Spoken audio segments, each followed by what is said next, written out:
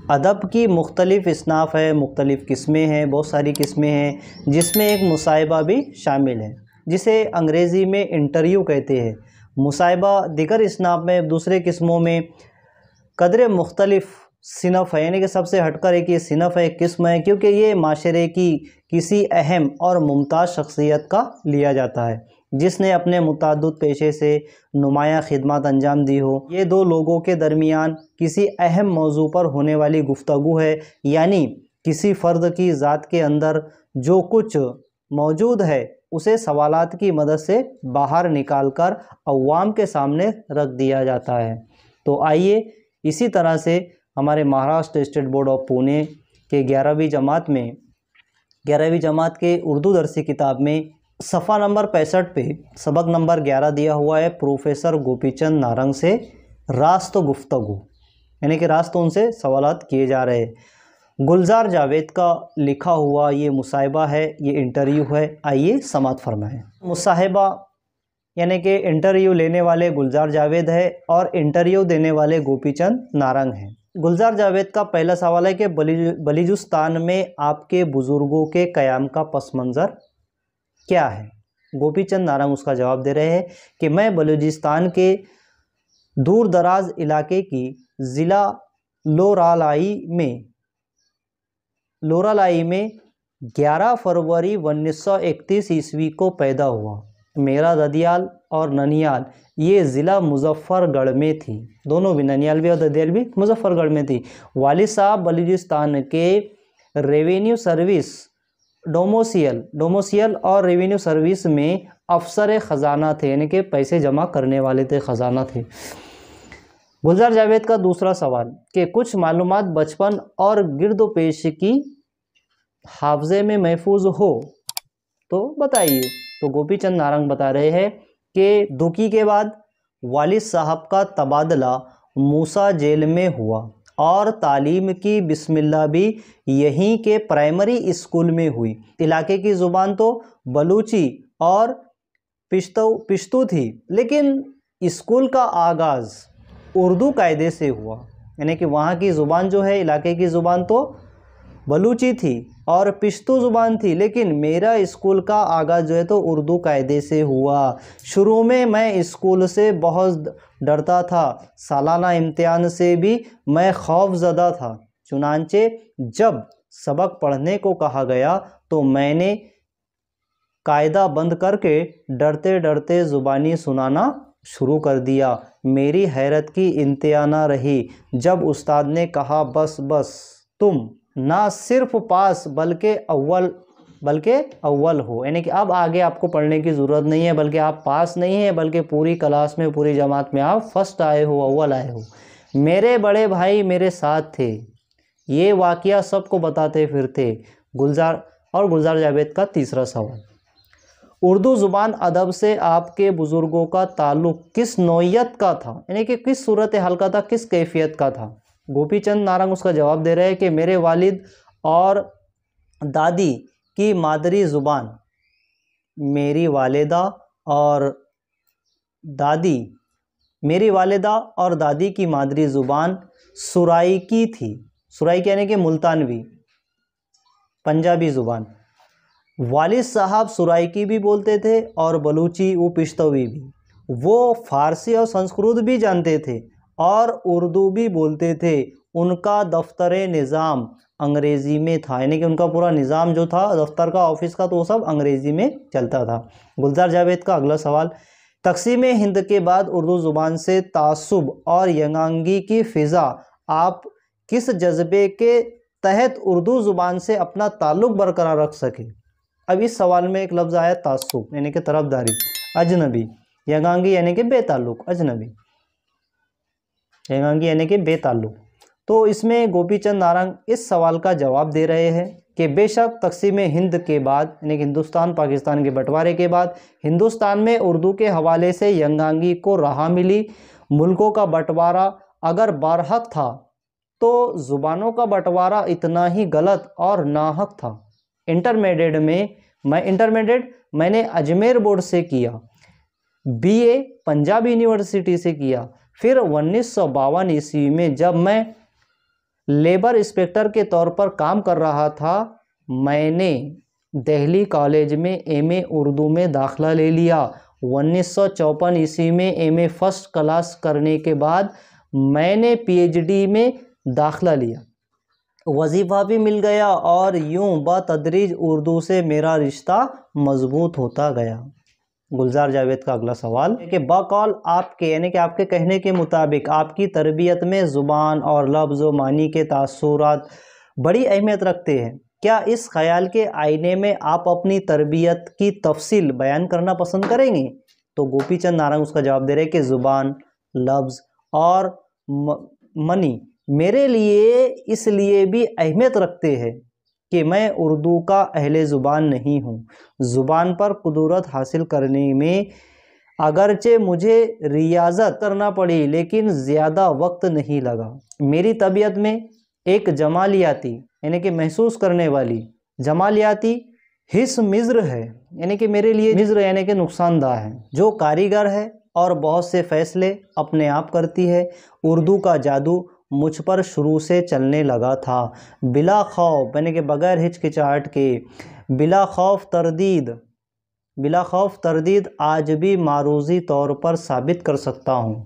यानी कि रोके जाने के खौफ की ताबीर से जो है तो मारूजी तौर पर, यानी कि खारजी तौर पर जो है तो साबित कर सकता हूँ। कि बर्र सग़ीर की ज़ुबानी सब अहम होंगी। कोई किसी से, कोई किसी से हेटी नहीं, कोई किसी से कम नहीं, कोई किसी से ज़्यादा नहीं, लेकिन उर्दू ज़ुबान की ज़ुबानों का ताज महल है। उर्दू ज़ुबान जो है तो उर्दू जो है तो हिंदुस्तान की ज़ुबानों का ताज है मुसन्फ़ यानी कि इंटरव्यू देने वाले गोपी चंद नारंग रहे कि उर्दू ज़ुबान जो है तो उर्दू ज़ुबान हिंदुस्तान की ज़ुबानों का ताज है।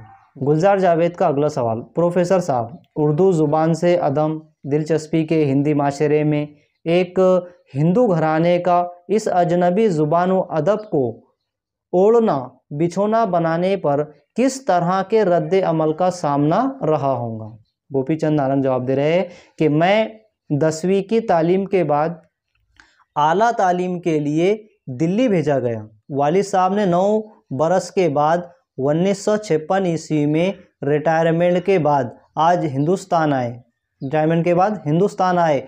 और उनकी अजीम शख्सियत का मुझ पर एक एहसास ये भी है कि अगरचे वो चाहते थे कि आला तालीम रिकॉर्ड की वजह से मैं साइंस पढ़ूं। लेकिन उन्होंने कभी इसरार नहीं किया, कभी ज़िद नहीं की, कभी मुझको इस पर शर्मिंदा नहीं किया। उर्दू खुद लिखते पढ़ते थे। यानी कि गोपी चंद नारंग के वाले साहब भी उर्दू खुद लिखते थे, पढ़ते थे, ख़तों किताबात भी उर्दू में करते थे। उस ज़माने में हिंदू घरानों में उर्दू से मुगायरात नहीं थी, यानी कि गैरत नहीं थी। तो गुलजार जावेद का अगला सवाल कि आप लिखी हुई तकरीर डाइस पर आकर पढ़ने की बजाय फिल बदीहा तकरीर बहुत उम्दा करते हैं? यानी कि बेमौके जो है तो आप तकरीर बहुत अच्छी करते हैं, उसकी ख़ास वजह क्या है? तो गोपी चंद नारंग उसका जवाब दे रहे हैं कि उसके दो वजह, उसकी दो वजह हो सकती है। अव्वल तो ये कि फ़ज़ल रब्बी है, यानी कि ये रब का फ़ज़ल है, कि कुदरत की तरफ़ से मुझे ये मलेका हासिल हुआ है। यानी कि ये महारत मुझे अल्लाह ताला की तरफ़ से मिली है कि मैं बोलते वक्त सोच भी सकता हूँ। गोया ज़ुबान पान व जहन दोनों एक बेक वक्त काम करने में मुझे कोई उलझन नहीं। यानी कि एक वक्त में बेक वक्त में यानी कि ज़ुबान भी, ज़ुबान से बोलना और जहन से सोचना, ये दोनों भी एक ही वक्त में काम करने से मुझे कोई उलझन नहीं होती। दूसरे ये कि लिखी हुई तकरीर पढ़ने से सोचने की आज़ादी सल्ब हो जाती है। यानी कि मिट जाती है, ख़त्म हो जाती है, छीन ली जाती है। तकरीर तो क्या? तकरीर तो क्या बस मैं सामाइन से हम कलाम होने, सामाइन और दिलों तक पहुँचने की कोशिश करता हूँ। गुलजार जावेद का अगला सवाल, कि आपके मिजाज की इनकलाबी, इनकलाब आफरीनी किस तरह तहरीक या जवाब की देन है? गोपी चंद नारंग जवाब दे रहे हैं। तो गोपी चंद नारंग जवाब दे रहे हैं मैं किसी एक नज़रिए या तहरीक का पाबंद नहीं हूँ। तहरीक कहते हैं किसी नई बात को पैदा करने को। तो ये मेरे बातनी तजस के ख़िलाफ़ है, यानी कि छुपी हुई है। गुलजार जावेद का अगला सवाल के प्रोफेसर साहब, तनकीद निगार के यहाँ, तनकीद तनकीद कहते हैं खरे और खोटे की समझ रखने वाला, अच्छे और बुरे की पहचान रखने वाला, वस्फ कितने फ़ीसद होना ज़रूरी है? मसलन, आपकी शेरी तनकीदी में सुकन फ़हमी का बड़ा ज़िक्र है। नसरी तनकीद में कौन कौन सी बसीरतें दरकार हुआ करती हैं? तो इसमें एक लफ्ज़ आया है, सवाल में, वस्फ करना, यानी कि तबाजात पाराफन को कहते हैं। तो गोपी चंद उसका जवाब दे रहे हैं कि दरअसल तनकीदी तख्लीक के खाने इतने अलग अलग नहीं जितने समझे जाते हैं। तनकीद के खाने इतने अलग अलग नहीं हैं जितने के समझे जाते हैं। अच्छी तनकीद, तख्लीकी एहसास के बगैर मुमकिन नहीं। पहली मंजिल साहब ज़ौक़, यानी कि शौक़ होता है। यानी कि पहली मंजिल क्या होती है कि हमारा शौक़ होता है। कोई भी ज़ुबान सीखने के लिए सबसे पहले हमारा शौक़ होता है। जिसमें तबीयत और मिजाज को भी दखल होता है। यानी कि तबीयत भी आमादा होनी चाहिए और मिजाज भी मिलना चाहिए। नेज़ मुताले यानी कि पढ़ने और तरबियत को भी सुखन फहमी की मंजिल बाद में आती है। अदब फहमी, जितनी शायरी पर तनकीद के लिए ज़रूरी है, यानी कि उर्दू अदब हो, अंग्रेज़ी अदब हो, अदब कोई भी हो, लिटरेचर कोई भी हो तो अदब की फहमियाँ, अदब की समझ, जो है तो अदब की समझ जितनी शायरी पर तनकीद के लिए ज़रूरी है, उतनी नसर अदब पर भी तनकीद के लिए भी ज़रूरी है। तो ये उन्होंने दोनों बातें बताई है। जितनी शायरी को ज़रूरी है, उतनी नसर को भी ज़रूरी है। गुलजार जावेद का अगला सवाल कि आपके मुताबिक बोलचाल की ज़ुबान में शायरी नहीं हो सकती, जबकि शायरी की ज़ुबान में बोलचाल हो सकती है। क्या आज की शायरी बोलचाल से ऊपर की सतह की शायरी है? गोपी चंद नारंग उसका जवाब दे रहे हैं कि शायर शायर में फ़र्क होता है। आला शायरी में सादा नज़र आने वाली ज़ुबान दरअसल सादा नहीं होती। आला शायरी में, यानी कि अच्छी शायरी में, सबसे ज़्यादा ऊँची शायरी में नज़र आने वाली ज़ुबान दरअसल सादा नहीं होती। उसमें मानी ता दरता होते हैं, यानी कि एक एक के नीचे एक के बाद एक होते चले जाते हैं। शायरी तख्लीक का हक ही उसी वक्त अदा कर सकती है। शायरी बनावट का हक उसी वक्त अदा कर सकती है जब आम ज़ुबान ज़िंदा रहने वाली ज़ुबान बन जाए। कोई भी आम ज़ुबान हो तो ज़िंदा रहने वाली ज़ुबान बन जाए। गुलजार जावेद का अगला सवाल कि आपके ख़्याल में गुज्त सदी में उर्दू अदब की कौन सी सिनफ़ ने कौन सी किस्म ने सबसे ज़्यादा तरक्की की है? नेज़, गज़ल, नज़म, अफसाना, तनकीद के चार बड़े नाम कौन से हैं? और आजकल उन शोबों में लीडिंग पोजीशन पर कौन है? यानी कि आगे कौन सी ज़ुबान बढ़ रही है, आगे कौन सी सिनफ बढ़ रही है? गोपी चंद नारंग उसका जवाब दे रहे हैं। कि अदब खेल का मैदान नहीं है। कि किसी ने सेंचुरी ज़्यादा बना ली या किसी ने ज़्यादा विकेट्स लिए तो अदब एक जदलियाती अमल है। यानी कि बार बार तब्दील होने वाला अमल है, जिसका इरतकाई, यानी जिसकी नशो नुमा जिसका उरूज सफ़र, इरतकाई सफ़र, यानी कि नशो नुमा का उरूज का सफ़र जो है तो बरकरार जारी रहता है। मेरी नज़र में गुज्त सदी में फ़िक्शन के चार पाँच बड़े नामों में प्रेमचंद, मिंटू, बेदी, कुर्तुलैन हैदर और इंतज़ार हुसैन ज़रूर शामिल होंगे। शायरी में फ़िराक गोरखपुरी, नून में इमराशिद मीराजी अख्तरमान और नासिर काजमी। इसी तरह तनकीद में एहतशाम हुसैन, औल अहमद सरवर और कलीमुद्दीन अहमद, मोहम्मद हुसैन अस्करी और डॉक्टर सैयद अब्दुल्ला। बाकी बड़े नाम मेरे मा, मासरीन हैं। गुलजार जावेद का अगला सवाल, क्या आप क्या आप भी उर्दू ज़ुबान को किसी मुसलमानों से मंसूब करते हैं? तो गोपी चंद नारंग उसका जवाब दे रहे हैं कि ज़ुबान का मज़हब नहीं होता। ज़ुबान का समाज होता है। जो लोग ज़ुबानों को एक मज़हब तक महदूद करते हैं वो ज़ुबान के साथ ना इंसाफ़ी करते हैं। ज़ुबान एक जमहूरी समाजी अमल है। वो ज़ुबान के साथ बेइंसाफ़ी करते हैं ना इंसाफ़ी करते हैं। ज़ुबान एक जमहूरी समाजी अमल है। ज़ुबान क्या है? एक जमहूरी जमहूरीत का अब समाजी अमल होता है। जो ज़ुबान को बोलता है, ज़ुबान उसकी हो जाती है। उर्दू का ताल्लुक़ हिंद आर्याई ख़ानदान से है। उर्दू को कई सदियों तक हिंदुओं और मुसलमानों ने मिलजुल कर सजाया संवारा है।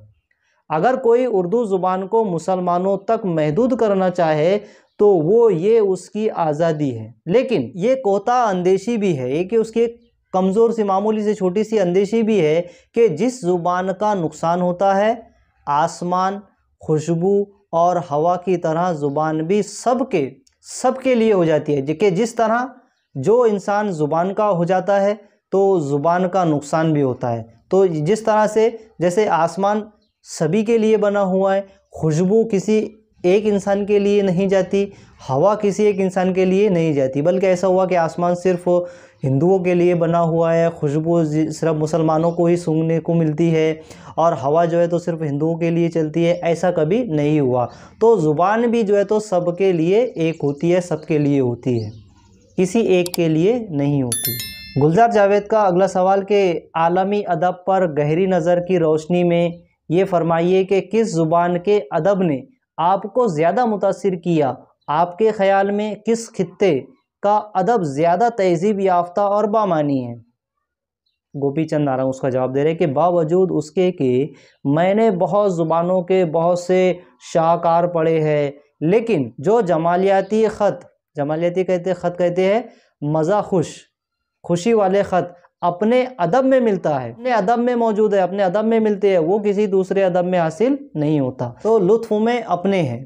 तो लुत्फ़ में अपने अदब में मिलता है, वो किसी दूसरे अदब से हासिल नहीं होता। मेरी जड़ों में पाकिस्तानी बोलियों के असरात है तो ला मोहला, यानी कि मुमकिन है। मेरी, मेरे तहत शौर, यानी कि एक जहनी कैफियत में बाबा फरीद, बल्ले शाह, हुसैन, वारिस शाह और उस नहों की लोग रिवायतें हैं। अपनी ज़ुबान में मैं सबसे ज़्यादा जमालियाती ख़त मीर व गालिब से पाता हूँ। यानी कि मज़ा खुश पोश वाले ख़त जो है तो मैं मीर और गालिब के ख़ुतों को पाता हूँ। गुलजार जावेद का अगला सवाल के प्रोफेसर साहब, उर्दू के उदबा यानी कि अदीब और शोरा शोरा कागज़ पर बड़े नज़र आने के बावजूद, अमली ज़िंदगी में उससे मुख्तलिफ़ क्यों होते हैं? नेज़ दिगर ज़ुबानों के कलमकारों की कैफियत क्या है? तो ये गुलजार जावेद ने सवाल किया तो इसमें एक उदबा का लफ्ज़ है उदबा यानी कि ये अदीब की जमा है, शोरा ये शायर की जमा है।